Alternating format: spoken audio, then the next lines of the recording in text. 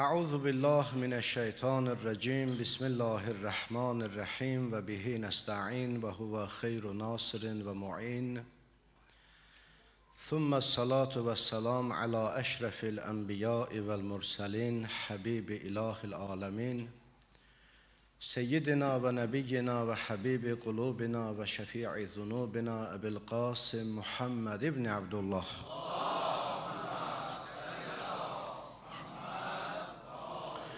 صلى الله عليه وعلى آله الطيبين الطاهرين المعصومين المظلومين. ولعنة الله على أعدائهم أجمعين من الآن إلى قيوم يوم الدين. السلام عليك يا أبا عبد الله وعلى الأرواح التي حلت بفنائك. عليك مني سلام الله أبدا ما بقيت وبقي الليل والنهار. ولا جعله الله آخر الأهد مني لزيارتكم السلام على الحسين وعلى علي بن الحسين وعلى أولاد الحسين وعلى أصحاب الحسين Hicri ili ilə 1445-ci il bu gün daxil olur. Məhərrəm ayının biri. Hər şeydən əvvəl şükürlər olsun Allaha ki, yenə də bizə İmam Hüseyn əleyhissalamın və Kərbəla şəhidlərinin il dönümü ilə əlaqədar olan bu gözəl məclisi bizə nəsib elədi. Həmd olsun Allaha. Allah axırıncı məclisimiz qərar verməsin. Allah məclisdə olan ağsaqqallarımıza, böyüklərimizə, cavanlarımıza uzun ömür, can sağlığı əta eləsin inşallah. Allahın ən böyük neymətidir bu. Necə ki hədisdə varid olub, Allah bir nəfər bir bəndəsi üçün xeyr istəsə, onun qəlbinə İmam Hüseynin və onun ziyarətinə məhəbbətin salar. İkinci özümə vacib bilirəm ki, Məhərrəm ayının daxil olması ilə əlaqədar olaraq ən birinci xüsusən məclisimizdə şəhid valideynləri varsa, onlara və ümumən bütün şəhid analarına, şəhid atalarına, şəhid övladlarına, ailələrinə başsağlığı veririk. Çünki bu məclisin ən İmam Hüseyn əleyhissalama yaxın olan o ailələrdir. Allah onların da balaların, şəhid balaların İmam Hüseyndən ayrı salmasın inşallah. Və eyni zamanda bu münasibətlə ağamız, Mövlamız İmam Zaman ağaya başsağlığı verirəm və bütün dünyanın hər yerində ya Hüseyn deyənlərə və xüsusilə siz əzizlərə başsağlığı ərz edirik. Allah dünya və axirətdə bizi İmam Hüseyn əleyhissalamı ziyarət və şəfaatindən ayrı salmasın inşallah. Əlbəttə, məclisin söhbətinə, mövzuya başlamazdan əvvəl bir neçə müqəddimə olaraq məsələlər var birinci məclisimiz olduğuna görə. Onları deyib inşallah məclisin söhbətinə başlayacağım. Növbəti qeyd elə, elə, eləmək istədiyim məsələ budur ki, bir neçə gündür ki, bizim qeyrətli cavanlarımız İmam Hüseyn əleyhissalamın əzasının daha gözəl olması üçün, daha səliqəli olması üçün gecə-gündüz çalışırlar, əziyyət çəkirlər, maddi, mənəvi. Allah o cavanlarımızı və o cavanların başında şəhid atası Rasif qardaşımızı da hifz eləsin inşallah.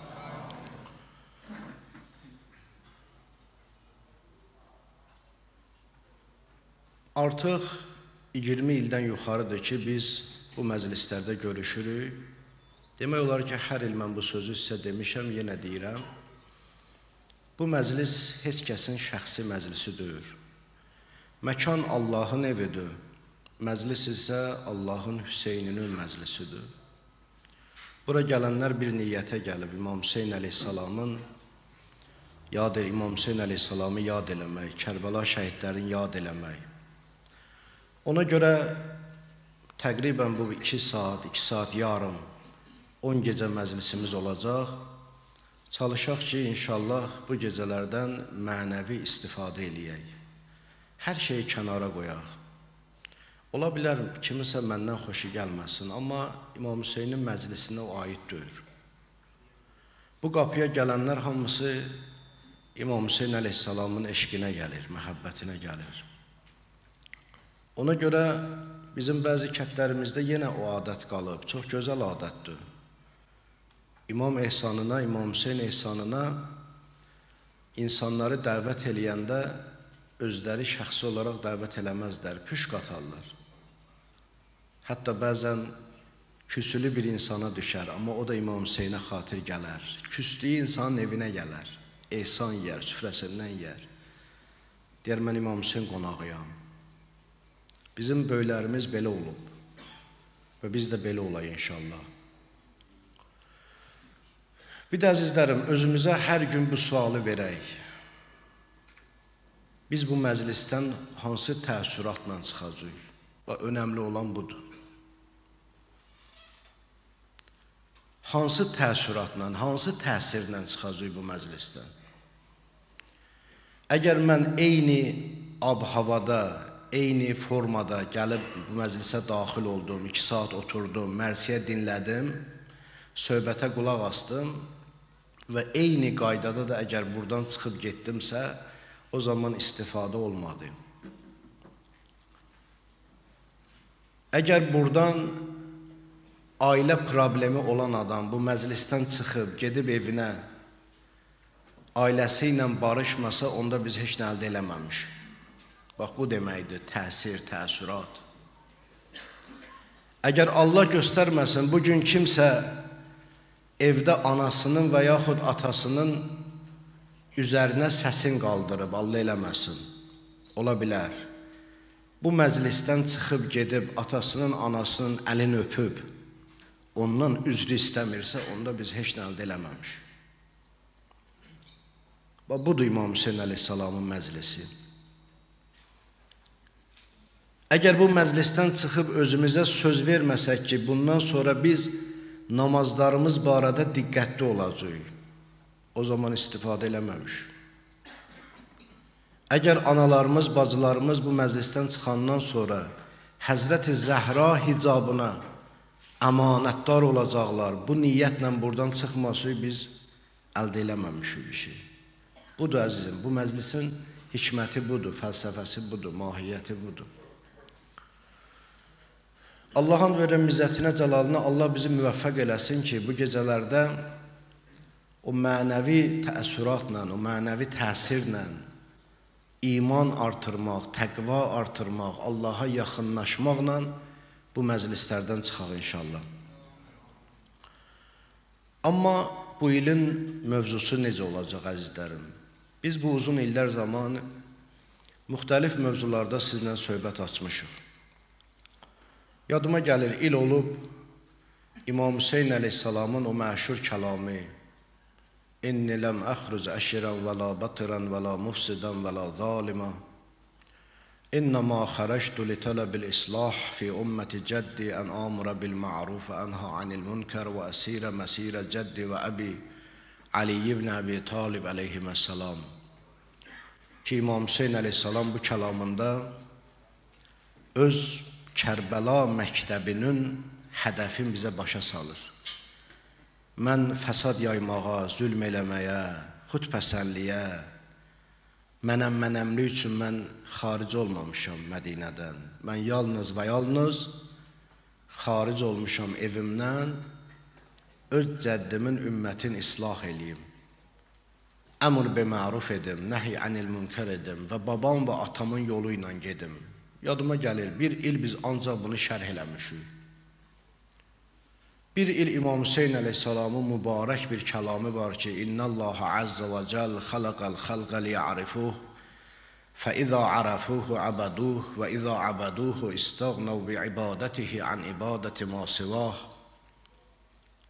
قيل يا ابن رسول الله ما معرفة الله قال معرفة إمام زمانه الذي يجب طاعته İmam Hüseyin əleyhissalam buyurdu ki, Allah Taala insanları onu tanımaq üçün yaradıb. Əgər insanlar Allahı tanısalar, ona ibadət edərlər. Əgər ona ibadət eləsələr, ondan başqasına ibadət eləməyə, qul olmağa ehtiyac qalmaz. Bir nəfər soruşdu ki, Peyğəmbər balası, nədir Allah tanımaq? İmam Hüseyin əleyhissalam buyurdu ki, hər zamanın imamın tanıyasan ki, onun mərifəti, onun itaati bizə vacib olub, onun mərifəti bizə Allahı tanıtdırır. Bir il, 10 gecədə bu mübarək kəlamı izah eləmişik və s. Da mən bir gecə, o gecələrdə nələr danışmış, onları saymaq istəmirəm. Amma bu il Məhərrəm ayı boyunca söhbətlərimiz hər gecə bir ilahi və insani dəyər, bir İslami dəyər və o dəyərin Kərbəlada təcəssümü barəsində söhbətimiz olacaq. Məsələn,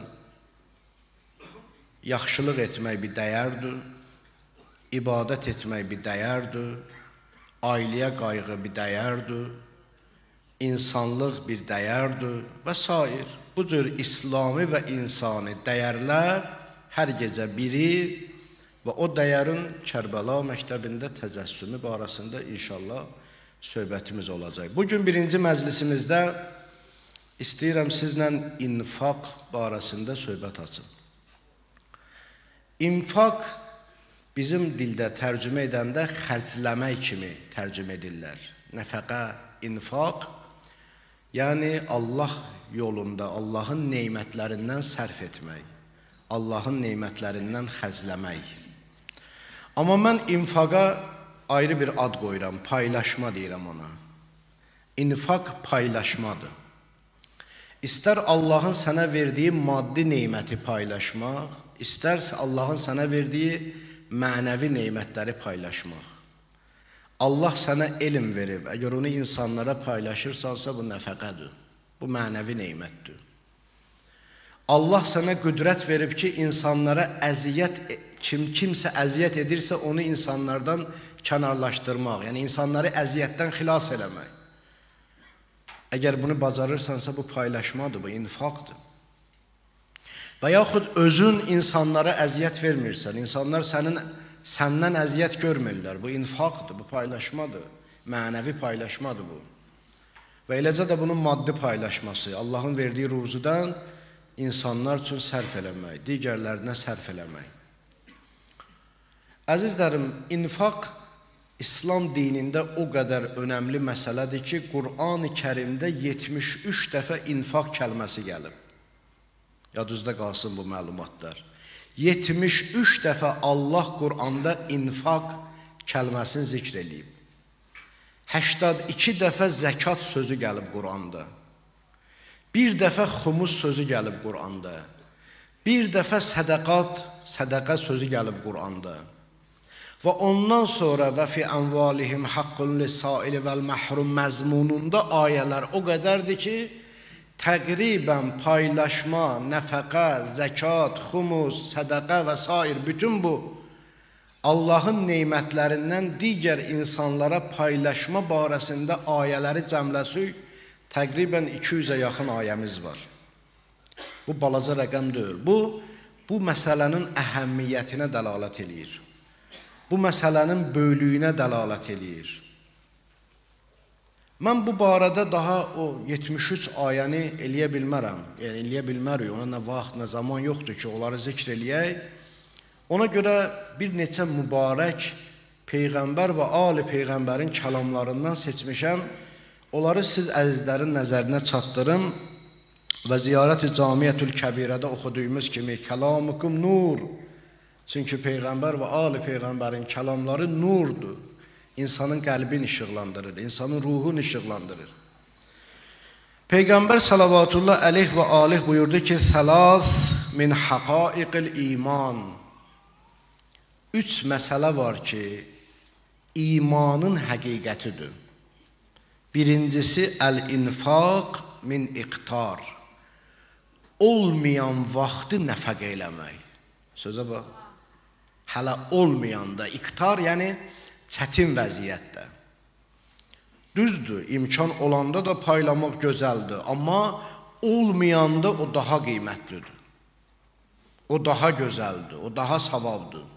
Quranda Allah necə deyir? Yu'thiruna ala anfusihim vəlau kana bihim xəsasa, bihi xəsasa. Allah buyurur ki, özlərinin ehtiyacı ola-ola başqaların özlərindən qabağa salırlar. Özlərinin ehtiyacı ola-ola başqaların özlərindən qabağa salırlar. Əl-infaq min iqtar Peyğəmbər salavatullah əleyh və aleyh buyurdu ki, imanın həqiqətidir. Və insafuka nas min nəfsik. İnsanlar daim səndən insaf görsünlər. İnsaf sözün biz işlədirik Azərbaycan dilində. Amma ərəb dilində insaf nisf sözündəndir. Yəni yarılamaq deməkdir. Yarmaq, yarı, yarı etmək. Niyə insafa insaf deyilir? İnsafa ona görə insaf deyilir ki, sən özündən başqa insanı özünün yarım qərar verirsən. Ona deyirlər insaf. Deməli, insaflı insan odur ki, bax, mən sizi özümə yarı bilirəm. Yəni, nə mənə aiddir sənədə, nə mənim xeyrimədir, onu sən üçün də istəyirəm. Nə özüm üçün istəmirəm, sən üçün də istəmirəm. Olur yarı. Hamımız bir-birimizin oluruq yarı. Əslində yar sözü də budur elə, yar. Filankəs filankəsin yarıdır, yəni bədəninin parasıdır. Hər məsələ ucuzlaşan kimi bunları da ucuzlaşdırmışıq. Amma qayıtmaq lazımdır. Mən həmişə bu sözü demişəm. Elmdə, texnologiyada gərək qabağa gedəsən, müasir elmdə gərək balalarımızı, cavanlarımızı elə böyüdək ki, onlar inkişaf eləsin, onlar dünyanın ən qabaqcıl və ən birinciləri olsun. Amma dində, əqidədə isə biz keçmişimizi qoruyub saxlamalıyıq. O zaman xalq öz xalqlığını qoruyub saxlayır, millət öz kimliyini qoruyub saxlayır.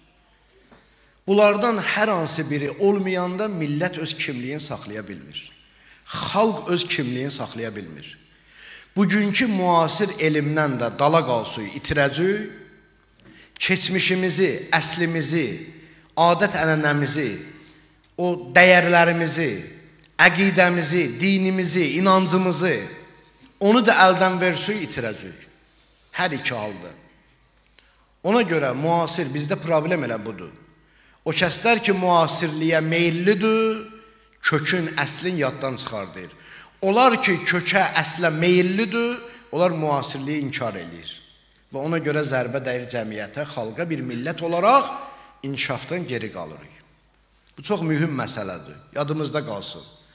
Elmdə və texnologiyada, müasir məsələlərdə qabağa getmək, inkişaf eləmək, tərəqqi eləmək, amma dini və inanc məsələlərdə, ailə məsələlərində və digər dəyərlərdə öz əslimizi, kökümüzü qoruyub saxlamaq.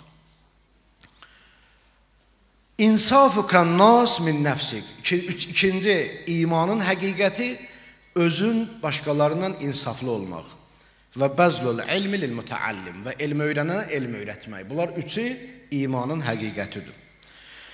Peyğəmbər salavatullah əleyh və aleyh buyurdu: "Mən nəqsa mal min nəqsi malin ma nəqəsə malun ma nəqsə malun min sədaqətin qat heç vaxt mal sədaqə ilə naqis olmaz. O adamlar ki, güman eləyir mən sədaqə verməklə, infaq eləməklə, paylaşmaqla malım azalar, Peyğəmbər sallallahu əleyhi və xeyr, heç vaxt azalmaz. Fa'tu fəla təcəbbənu. Verin, qorxmayın. Peyğəmbər sallallahu buyurdu. Yenə də Həzrət Rəsulullahdan da buyurdu ki, "Mən mənə amalahu minəl əxyari ixtiyaran sarafahullahu malahu iləl əşrari istiraran." Peyğəmbər sallallahu əleyhi və alə buyurdu ki, hər kəs xeyir işlərdə xeyirxah insanlara, xeyirli insanlara, gözəl insanlara könüllü olaraq, ixtiyari olaraq yardım eləməsə, şər insanlara məcbur olaraq eləyəcək. Bu deyəsən cavanlara tanış gəldi bu hədis. Allah yolunda kəndüvə, elüvə, obava, yetimüvə, fəqirüvə, xəstəvə paylaşmırsa, bir də görürsən ki, bir nəfər gəlir, zəng eləyir, filan qədər qoy stolun üstünə.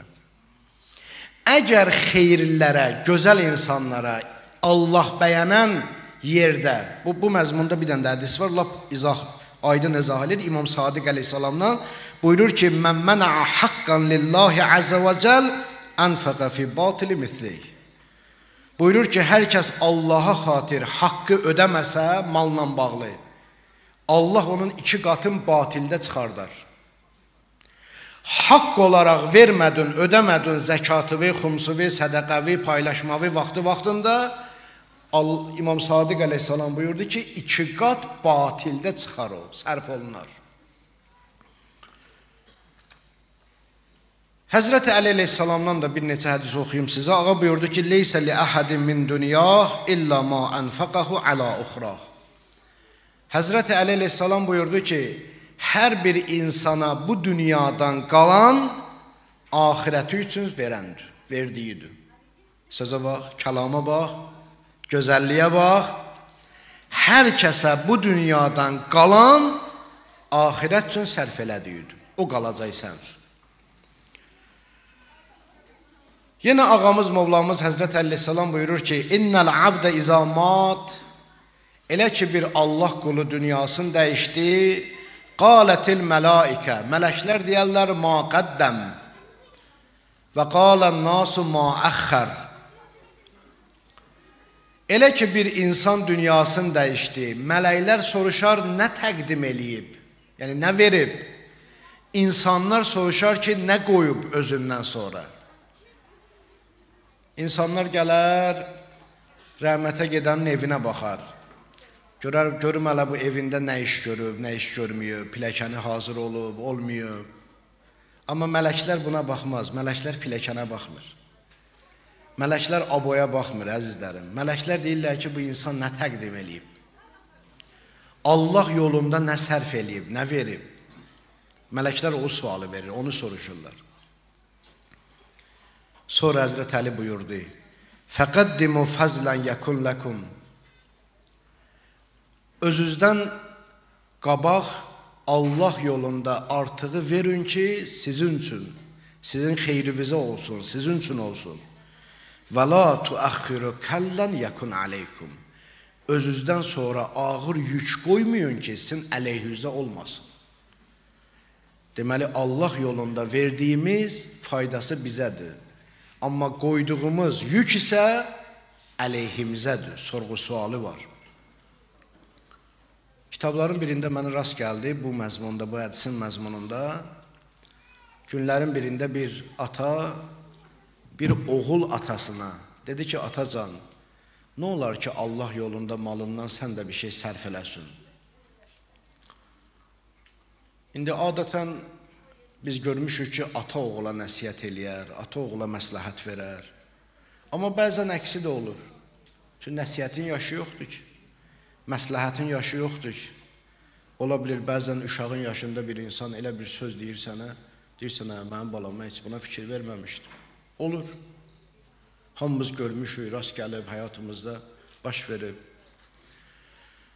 Bu oğul da atasına günlərin biri dedi ki, atacan, nə olar ki, sağlığında biraz nəfəqə edəsən, paylaşasan. Atası dedi ki, oğul, mən öləndən sonra sən eləyərsən, mənim malımdan sərf eləyərsən. Oğul işte demədi ki, bir neçə gün keçdi, gecənin bir yarısı ata oğul çıxıblar ki, harasa geçsinlər. Ata götürdü, işıq fanarın verdi oğluna, dedi ki, bunu ver ayağımızın dibinə, qoy biz yol gedək. Oğul yandırdı işığı, amma keçdi atasının arxasına, başladı arxadan işıq salmağa.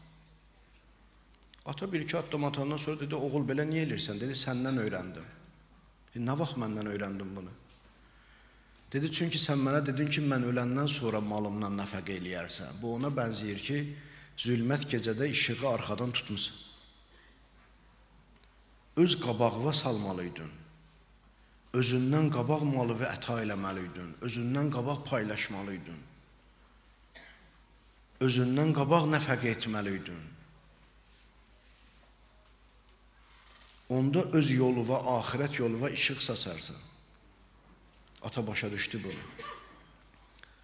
Onsuz da əzizlərim, mal da aradan gedir, can da aradan gedir. Nə ömür daimidir, nə mal daimidir. Nə Allahın verdiyi tək mal yox, hətta elm də. Bir müddət keçir, yaddaşın gedir, heç bilmirsən nə bilirdin, nə bilmirdin, hə? Çox belə necə deyim sənə, o insan ki, belə Allahın nemətlərin dərk eləmir. Ümumiyyətlə bu həyatı dərk eləməyən bir insandır ki, hər hansı bir nemətlə, bu maddi nemətlərlə qürurlansın. Hətta mənəvi nemət olsun belə. Ümumiyyətlə qürurlanmaq Allahı tanımamaq, dünyanı, həyatı tanımamaq onun əlamətidir. Nə ilə qürurlana bilərsən ki, nə varsa müvəqqətidir, nə varsa aradan gedəndir. Bu günləri gözəlsən, saçını uzatmısan, hə? 5-10 ilə o da aradan gedəcək. Gözəllik gedəcək. Mal aradan gedəcək. Sağlamlıq yaşa dolduqca aradan. Bütün bu nemətlər aradan gedir. Qalan nə qalır? Allah yolunda çalışmağın qalır. Bundan başqa heç nə qalmır bu aləmdə. Mən sizə bir nəfərin adını deyəcəm. Fərhad Mirzə, ona Qovanlı da deyirlər. Bu Qacari sülaləsində şahzadələrdən olub, vali olub. Böyük tarixi şəxsiyyətdir Fərhad Mirzə. O Şahzadə Abbas Mirzənin oğludur. 1818-ci ildə dünyaya gəlib, 88-də rəhmətə gedib, 1800, 70 yaş yaşayıb.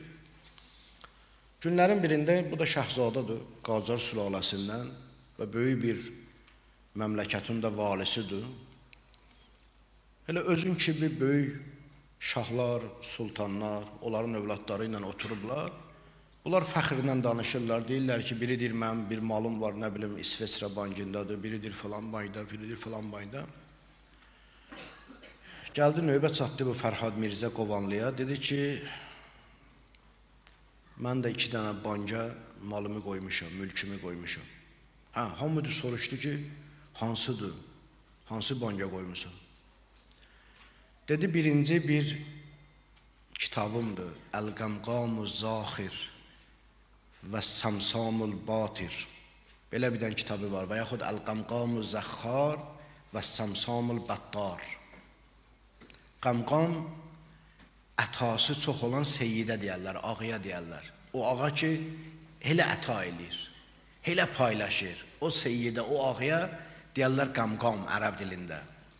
Bir dənə kitab yazıb bu Fərhad Mirzə, adını qoyub Əl-Qamqam Zəxxar. Yəni xəzinəsi dolu olan o əta eləyən seyyid ağa. Və Samsamül Battar. Yəni iti siyrilmiş qılınc. Kitabın adı belədir. Ağa və iti qılınc. Kitab kimdəndir? İmam Hüseyn əleyhissalamdan. Şahzadadır İmam Hüseyn əleyhissalam bu arada ən qiymətli kitablardan biri ona məxsusdur. Dedim, mənim banca qoyduğum mülk budur. Mən İmam Hüseyndən kitab yazmışam. Və bir də İmam Musa Kazım əleyhissalamın səhni. Allah hamımıza Kərbəla qismət eləsin. Gedənlər görüblər İmam Musa Kazım əleyhissalamın o indiki hərəminin səhni ki var, onu Fərhad Mirzə öz mülkündən eləyib. İndi fikir verin əzizlərim. Onunla oturanların heç adı tarix yazmayıb, adın yazmayıb. Yazıblar ki, şahların balaları, sultanların balaları. Belə yazılıb. Kim olub olar? Nə malları, mülkləri olub? Nə maraqlı da deyil. Tarix bunu yazmayıb və yazmayacaq da. Amma Qəmqam Qəmqam-ı Zəxxar kitabı bu günləri də evlərdədir. Bu gün də oxunulur, bu gün də o kitabı açan, oxuyan deyir Allah müəllifi, müsənnifi rəhmət eləsin. Və İmam Musa Kazım əleyhissalamın hərəmi səhni indi də qalır, yerindədir. Və indi də insanlar onu ziyarət eləyir və onu təhsis edən, təmir edən üçün dualar oxuyurlar. Budur əzizlərim, həyat budur. Bu paylaşmanın dünyəvi və uxravi faydaları da var. Onu da deyim sizə. Baxın, onlardan biri budur ki, paylaşırsan, Allaha yaxınlaşırsan paylaşırsan, insan nəfsi paçlanır. insanın nəfsin paşlayır paylaşma. İmam Hüseyn ehsanı verəndən sonra bir dənə özünüzə fikir verin. Bəlkə də fikir vermisiniz, bəlkə də verməmisiniz, bu illəri verin. İmam Hüseyn ehsanı verəndən sonra bir dənə özünüzə, bir dənə qəlbinizə, ürəyinizə, ruhunuza baxın. Nə qədər rahat özünü hiss edirsən. Nə nədir o rahatlıq? O nədəndir o rahatlıq? Bilirsiniz nədəndir? Paylaşmadandır. Çünki Allah Quranda belə deyib: "Xuz min amvalihim sadaqatan tutahhirhum." Ya Rasulullah, onların malından zəkatı, sədaqəni qəbul elə, onların özlərin paşla. Demir malın paşla. O malı paşlanı biz mal mal paşlanır zəkat. Yo yo yo. Özləri Quran deyir ki, mal verən, zəkat verən, sədaqə verən paşlanır. Malı yox, özü özü paşlanır. Mal əgər halaldırsa onsuz da paşdır. Mal əgər haramdırsa min dəfə də onun zəkatını verirsin, paşlanmaz. Mala nə dəxli var bunun? Özü, özü insanı paşlayır. Tutahhirhum onları paşla. Allah Quranda deyir. İnsanın nəfsi paşlanır.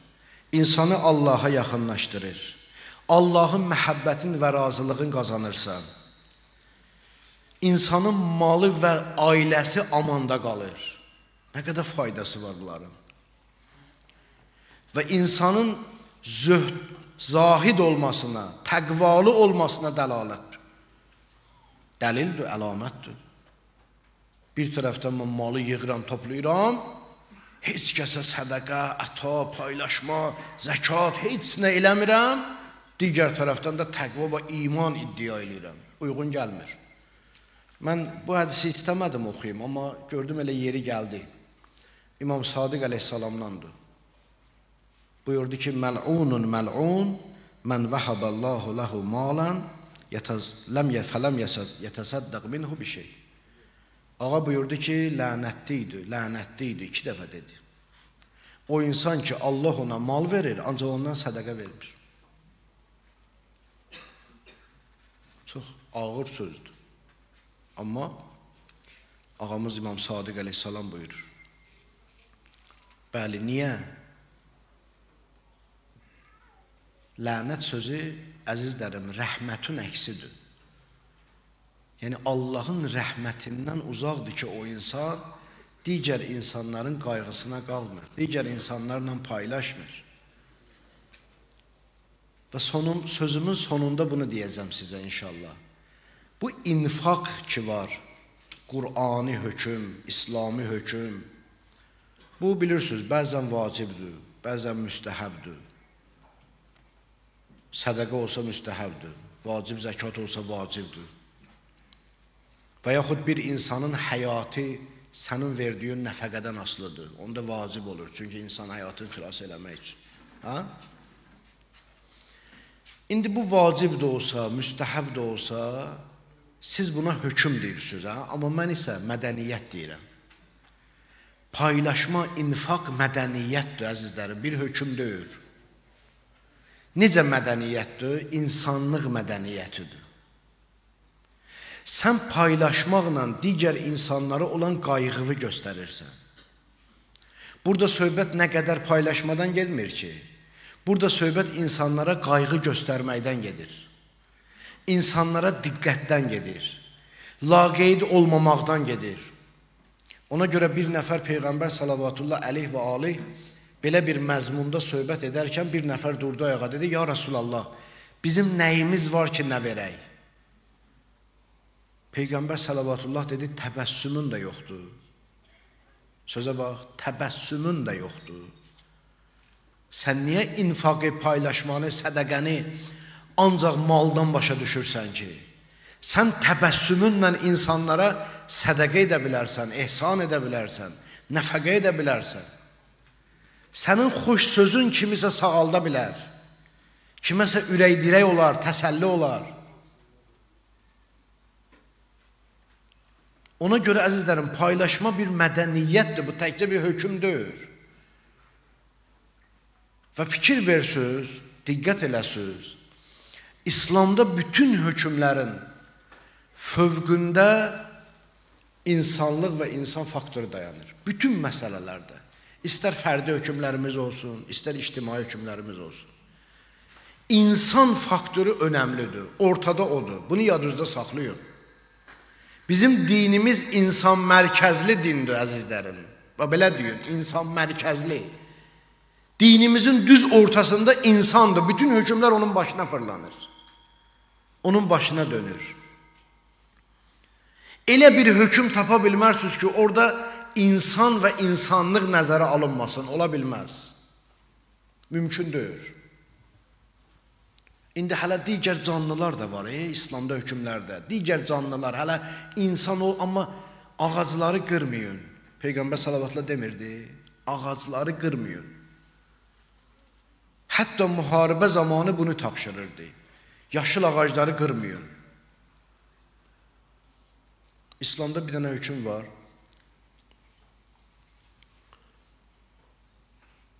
O vaxtı qədimdə, indi də var da elə, buğdanı əkirsən, sonra bir müddətdən sonra yetişir, biçirsən, hə? Biçirsən, sonra yığırsan, qablaşdırırsan, aparırsan da, sənindir. Şəriətimizdə bir hökm var, deyir, müstəhəbdir ki, bütün buğdaların hamını yığma. Çöldən hamını yığma. Müstə vacibdir, müstəhəb. Deyir, niyə? Deyir, qurd-quşlar içində qalsın, sərçə, quş.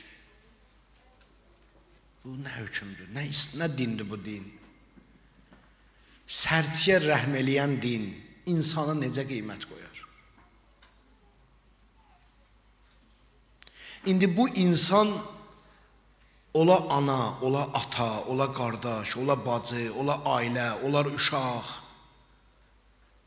biraz da məsuliyyəti artır.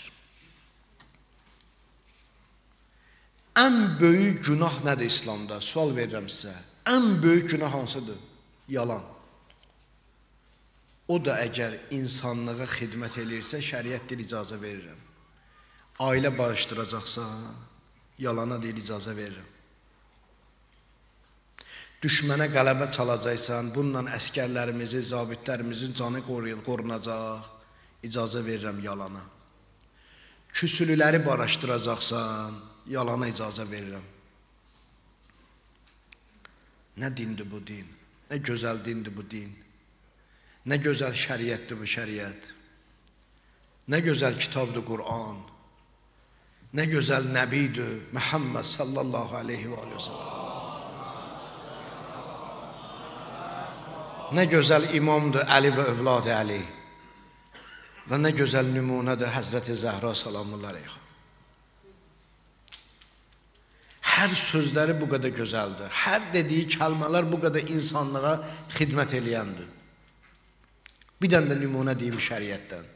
Peyğəmbər salavatullah aleyh və ali buyurdu ki, La tuməssilu vəlau bil kəlbil ahur və yaxud kəlbil hiraş dedi, təmsil eləməyin, musla haramdır. Musla nədir?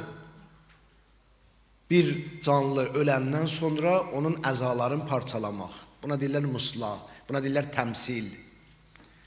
Həzrəti Həmzəni bu cür elədilər, Seyyid-i Şühədanı. Peyğəmbərimizin əmisi, əzaların böldülər şəhid olandan sonra.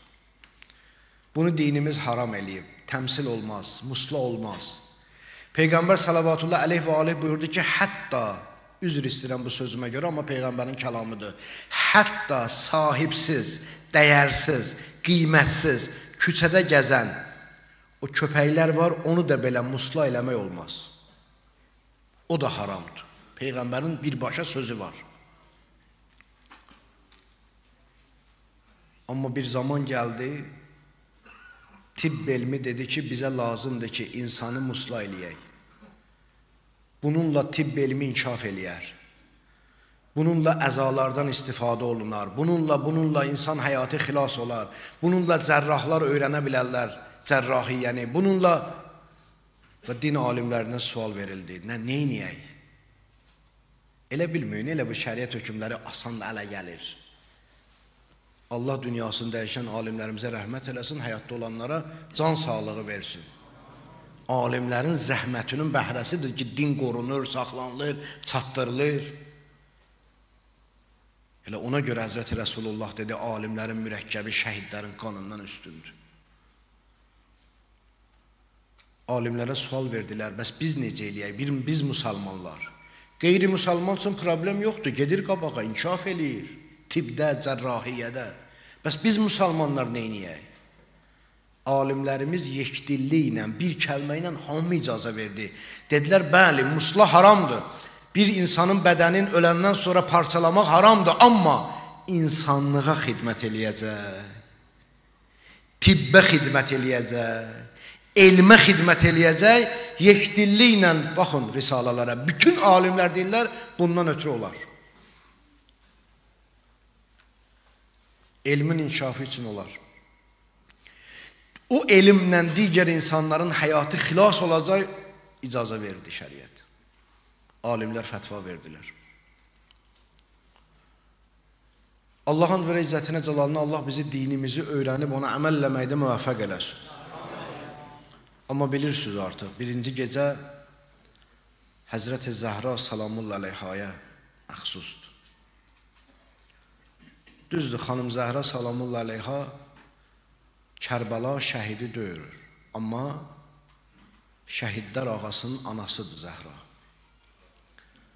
İmam Hüseyin əleyhissalam buyurur ki, mən şücaəti anam Zəhradan öyrənmişəm. Deyə bilərik ki, Kərbəla şəhidlərinin ustadıdır, şəhidlər ağasının ustadıdır Həzrəti Zəhra. Salamullah aleyha. Bu keçən illərdə xanım Zəhranın müsibətin dəfələrlə danışmışıq sizə. Amma bu günləri mən istəyirəm sizə Həzrəti Əli əleyhissalamın xanım Zəhra üçün necə nalə çəkdiyini deyim sizə. Və sənədi də Nəhcül Bəlağədir. Ki, hamı bilir Nəhcül Bəlağa necə kitabdır, onu hamı bilir. Və Nəhcül Bəlağada gör, Həzrəti Əli əleyhissalam Həzrəti Zəhranı dəfn eləyəndən sonra necə fəryad eləyir. Elə ki dəfn elədi xanım Zəhranı, üzün tutdu peyğəmbərin qəbrinə. Dedi: "Əssalamu aleykə ya Rasulullah anni." Dedi: "Məndən sənə salam olsun ya Rasulullah." Və an ibnatika nazilati fi civarika və sari'ati lihaq bik. Dedi: "Sənin yanına sənin yanında dəfn olunan və sənə ən tez qovuşan qızından sənə salam olsun. Düzdür, xanım Zəhranın qəbri gizlindir. Amma həm Həzrət Əlinin bu kəlamından fi civarik sənin qonşuluğunda dəfn olunan sözündən həm də Usulü Kafi kitabında bir hədis var İmam Rıza əleyhissalamdan soruşdular ki, Daha doğrusu ravi deyir ki, mən imamdan soruşdum Həzrəti Zəhranın qəbri barəsində, dedi, onu evində dəfn elədi cəddimiz Əli. Ona görə çox böyük ehtimal ki, Həzrəti Zəhra düzdür, dəqiq deyə bilmirik, çünki bəqidə dəfn olunması da yazılır. Amma bu iki kəlamdan qəlbimiz, ürəyimiz meyl elir ki, Həzrəti Zəhra evində dəfn olub. Həzrəti Zəhranın evi hardadır? Bəni Ümeyyə xəlif xəlifəlik zamanı onlar bütün o evlərin hamını dağıtdılar, məscidin içinə saldılar. O indi məscidin içindədir. Amma yolunuz Mədiniyə düşsə, mən sizə deyim onun evi harda olub. Cəbrail qapısından əgər içəri girə bilirsiniz, bu il həc mövsümündə bağlı gördüm mən. O qapı açılmadı. Amma qabaqlar gecələr açardılar, heç olmasa o qapını.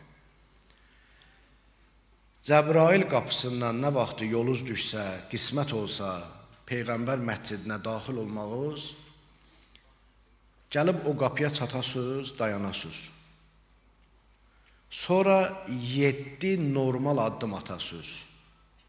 Adi addım, nə böyük atasınız, nə balaca. 7 addım atasınız. Harda dayandınız, hara çatdınız? Xanım Fatimə Zəhranın yıxıl yıxılan yeri oradır. Qapı ilə divar arası oradır.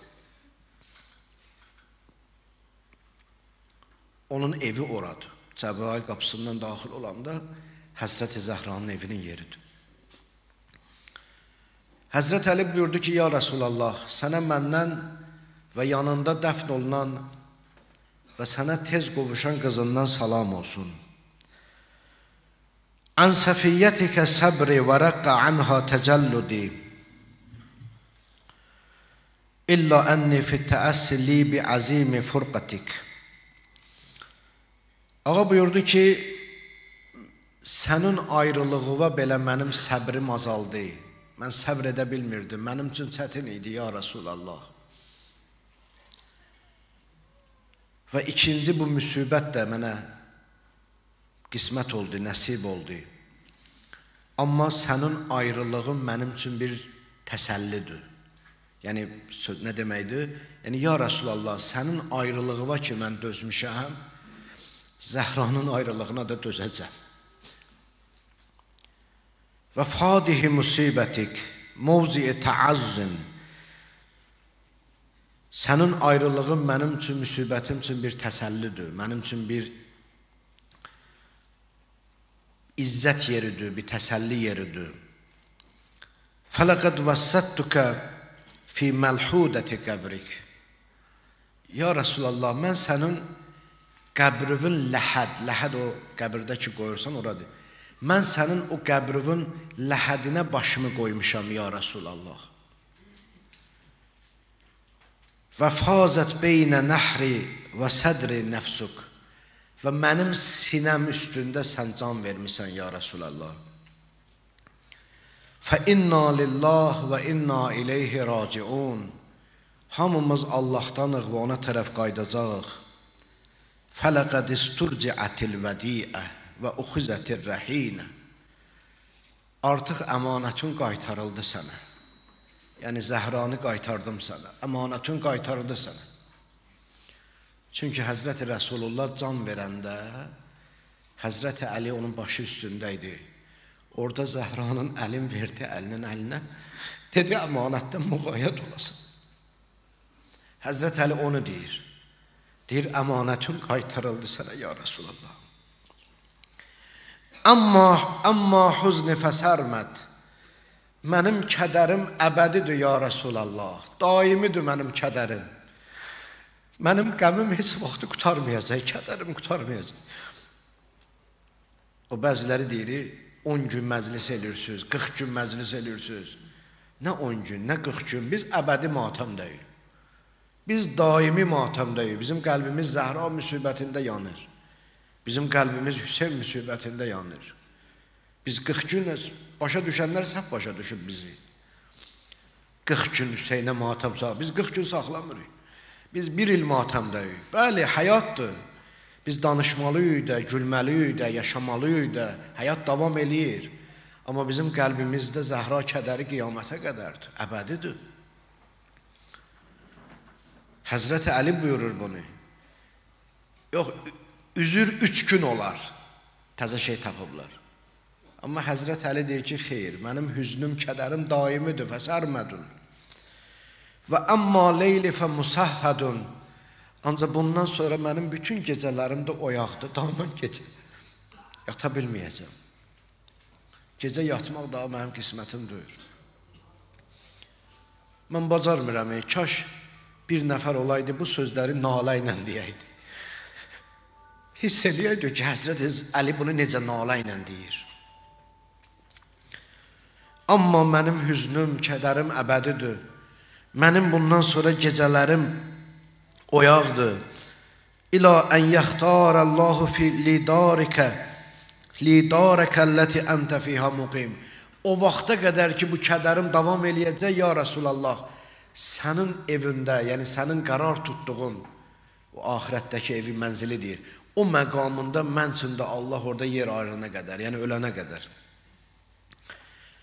Fəsutən fəsutun fəsutunəbbiuka ibnətuka bitazafuri ummətika ala həzmiha. Nəhcül bəlağadır sənədi, əzizlərim, yadınızda qalsın. Bu sözləri əzbərləyin və balalarınıza da əzbərlətdirin, uşaqlarınıza da əzbərlətdirin, babalar nəvələrini əzbərlətdirsin, atalar uşaqlarını əzbərlətdirsin. Həzrət Əli buyurdu ki, Ya Rəsulallah, qızın sənə xəbər verəcək ki, ümmətin necə əlbir oldu, ona zülm elədi.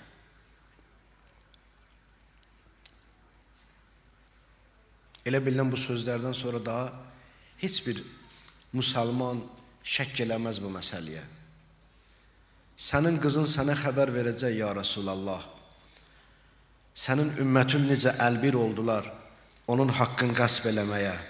Fəhvihə sual və istəxbir hal-hal. Özün qızı da sual verərsən. Özün onun halını xəbər alarsan. Hazə və ləm yətulil əhd və ləm yəxlu minkə zikr.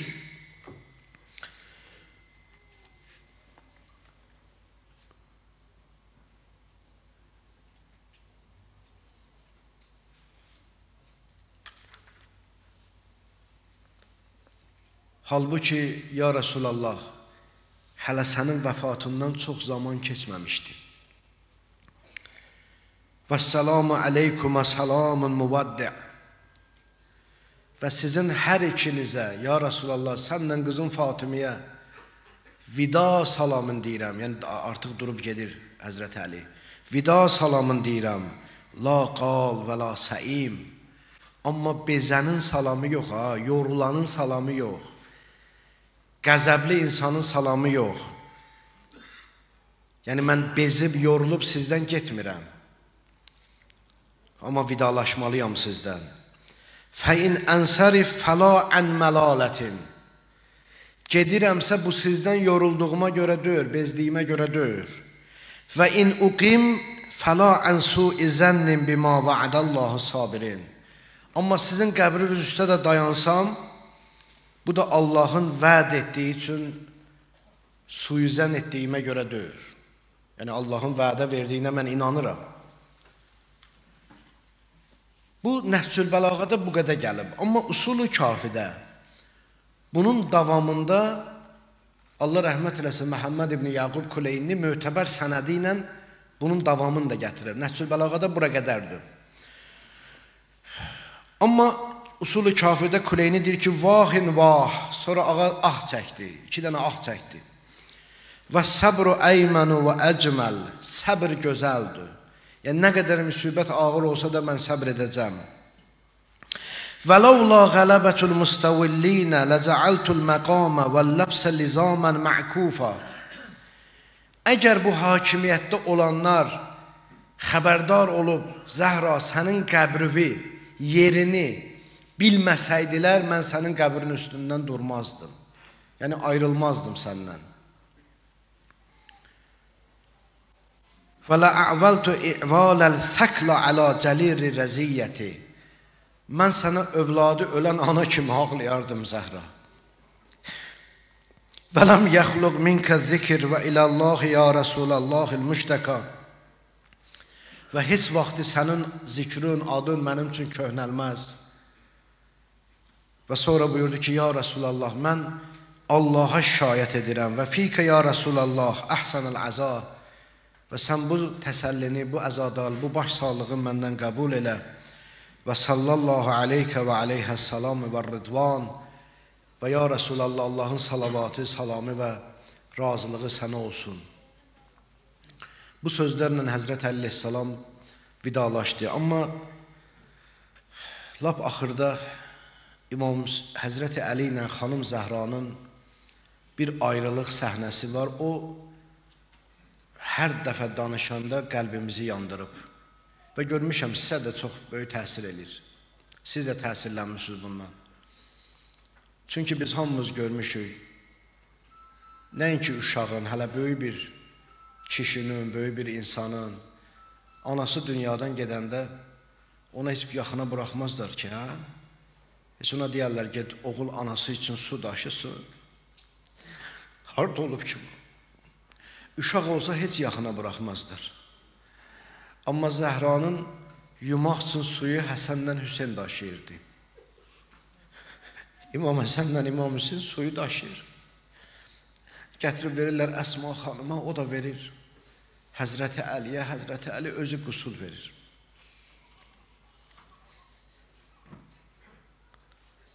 Valla şəkkim yoxdur zərrə qədər, Allah şahiddir. Zərrə qədər şəkkim yoxdur ki, Zəhra məclisindən İmam Hüseyin özü hələ razıdır. İmam Hüseyin özü razıdır. Nə qədər bilirsən bu barədə hədislərimiz var, sözlərimiz var. İmam Məhəmməd Təqi əleyhissalamdan da deyir, hələ balaca idi. Atası İmam Rızanın yanında oturmuşdu. Deyir, İmam Rıza gördü ki, İmam Məhəmməd Təqi əlin qoyur başına, sonra göyə baxır, balaca uşaq deyə, sonra ufunlayır, sonra ah çəkir. İmam Rıza dedi ki, oğlum nədir, niyə bu haldasan? Dedi, anam zəhra düşüb yadım. Anam Zəhranın müsibəti düşüb yatıma. İmamlarımız bu cür olublar ki, Zəhranın müsibəti yadlarına düşəndə. Əsma xanım gör nə deyir? Deyir, Zəhra deyir, dəstəmaz aldı. Hətta bəzi kitablarda bütün kamil təharət aldı. Ən gözəl libası, təmiz libasını geyindi. Belə, belə Allah liqasını Allahın görüşünə belə gedir Zəhra. Budur xatircəm nəfsi. Quran deyir: "Ya ayətühən nəfsul mutmainnə irci ilə rabbiki raziyətən mərziyyə." Ey xatircəm nəfs, Allah Quranda deyir: Rəbbivə gəl, Rəbbivə qayıt xatircəm nəfsinlə. Ona görə rahat ölənlər dünyanın ən xoşbəxtləri olub. Xatircəm nəfslə ölənlər. Rahat ölüm o demək deyil, e? elə lapdan yox. Xatircəm nəfslə xəstəlik də çəkib, amma dilindən zikr əskilməyib şükran lillah deyə-deyə dünyasını dəyişib. Xatircəm. Allah onu bizə nəsib eləsin inşallah. Zəhra gör necə hazırlaşır. Ölümə gör necə hazırlaşır. Əsma deyir ki, dəstəmazını aldı. Ən təmiz libasını geyindi. Dedi, Əsma, mən uzanıram. Çağırasan məni, tək burax məni. Otağıma girmə. İndi o anda nələr deyib Allahı ilə, onu heç kəs bilmədi. İnşallah əgər görə bilsək ağamızın zuhrunu onu ağadan soruşarıq. O bilər. Kinlənən Zəhra o tək qalanda otaqda son nəfəsində nə razı niyaz eləyib. Onu biz bilmədik. Əsma deyir ki, girdi otağa, bağladım qapını. Bir neçə an keçəndən sonra səslədim. Ey Peyğəmbərin qızı. Ey Peyğəmbərin yadigarı, ey Peyğəmbərin əmanəti. Gördüm Zəhradan cavab gəlmədi. Bu anda Həsənlə Hüseyn evə daxil oldu. Görün balalar daxil olan kimi nə deyir? Deyir, Əsma, anamızın yatan vaxtı döyür axı. Əsma xanım İslamda cəlilül qədr olan xanımlardandır, möhtərəm xanımlardandır. Ancaq bilmirəm bu cür niyə cavab, niyə bu cür cavab verib, mən onu bilmirəm. Amma elə bilirəm ki, gərək belə cavab verməyəydi birdən uşaqlara. Bilirsiniz nə dedi? Həsənlə Hüseyn deyəndə ki, Əsma, anamız hardadır? Anamızın yatan vaxtı deyir axı. İndi kitab belə yazır, mən bilmirəm, bəlkə də müqəddimə eləyib, bilmirəm. Deyir, birdən bu cür cavab verdi, dedi, anavız yatmayıb ki. Fatimə ölür. Bunu deyəndə İmam Həsənlə İmam Hüseyn elə qaçdılar məscidə. Elə qaçdılar məscidə. Həzrət Əli oturub Səlman, Miqdad, Əbu Zər, Ammar oturublar məsciddə. Gəldilər Həzrət Əlinin yanına, amma deyə bilmədilər müsibətin ağırlığından ki, anamız ölüb. İkisi də hönkürtü ilə ağlayır. İndi səhabələrdən biri durdu ayağa, yazmayıb. Məndə, məndə olan kitabda görmədim adın. Bilmədim Səlman yoxsa Əbu Zər. Deyir, dedi, Peyğəmbər balaları, Cəddivir Rəsulullahı yerin boş görmüsünüz, ona görə ağlayırsınız. Bunu deyəndə Həsənlə Hüseyin ikisi də birdən. Dedilər ki, bu dəfə Rəsulullaha görə yox, cəddimizə görə yox. Bu dəfə anamız Zəhra ölüb ona görə. Əli durdu ayağa, evə qaçanda yıxıldı üz üstə yer.